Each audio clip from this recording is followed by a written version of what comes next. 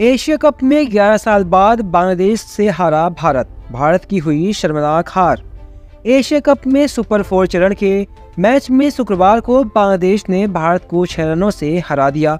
बांग्लादेश ने Asia cup के सभी फॉर्मेट में 11 साल बाद भारत को हराया है। जी हाँ, बांग्लादेश ने 50 ओवरों में आठ विकेट खोकर दो सौ पैंसठ रनों का टोटल स्कोर बनाया था, लेकिन भारत को दो सौ उनसठ रनों पर ही रोक दिया। इसके साथ ही शुभमन गिल का 121 रनों का शतक भी बेकार चला गया।